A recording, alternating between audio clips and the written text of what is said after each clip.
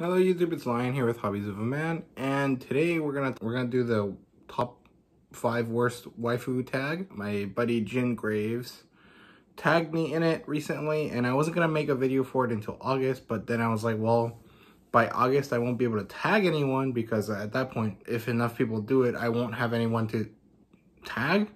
I'm just gonna do it now and I'll upload it tomorrow as a little surprise video. So I'll see what to do about that. So I have five waifus, the, the tag's actually 10, but I don't, I don't, I haven't read enough manga to like hate 10 people or like think 10 people are like really bad waifus. So like whatever, whoever I tag, which I don't know yet, I'll figure it out by the end of the video.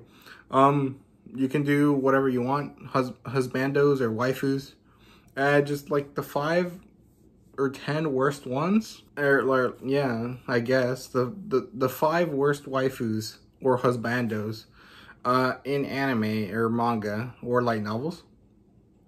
So yeah, so in no particular order, we're gonna start with Sakura.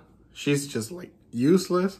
Like Sakura is such a bad one because she she would be like like she she has no growth like she doesn't do anything. She she would just kind of be like a sucky life partner. Like you wouldn't connect with her in any way. Like you, she she doesn't seem like the type of person you can grow with, like in as individuals.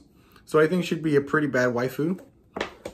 Uh, next one is uh, what's her name? Uh, Reika? Reika? Reika? Oh, Rita. Okay, so Rita whatever her last name is, from All You Need Is Kill.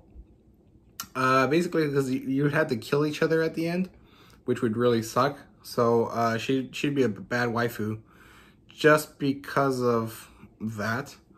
Um, she would actually be interesting, like the kind of love development that you get between her and Keiji is kind of interesting. And if you could like have something similar, it might be meaningful, but I don't know if uh, the whole endgame thing would kind of work out for you. Yeah, so the next one I think would be a really bad waifu is Misa from Death Note. Mostly because, like, she could kill you if you did anything wrong. It'd be like, like, uh, you wouldn't really be equals if she has the power to kill you with her, with a attack, with like a, a piece of paper and a pen uh, it would kind of really skew the dynamic you would have with her and it would just kind of suck. So I, I think it's one of those like, I'm afraid for my life and I'm not like crazy enough about her to like, you know, want to uh, put my life in danger. So she'd be a pretty bad waifu. Uh, the next one is Freya from Danmachi. Uh, she's actually like a lovely individual, but the problem is she, her like love, as they describe it in the book, is very fleeting. She's like the wind, right? That's how they describe her. So she'd love you for a little bit and then leave and then not ever love you again.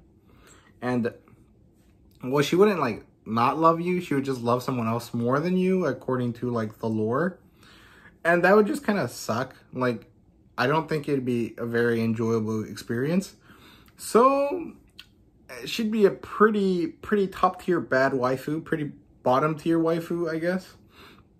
Uh, and the last one is Haruhi Suzumiya from The Melancholy of Haruhi Suzumiya. So, uh, she's adorable and like she's a very fun, like chuuni character, but like I'm pretty sure all the people that are weird that exist here literally exist because she has the power of God.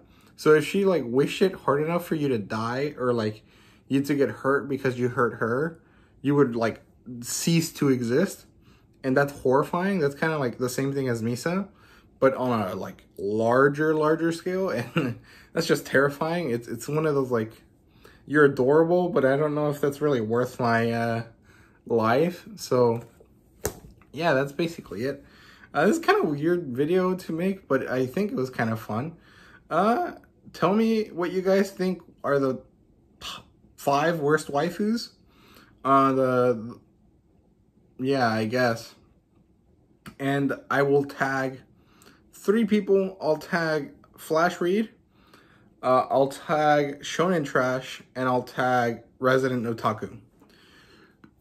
So hopefully uh, you guys feel up to doing this video uh, and uh, we can keep the tag going.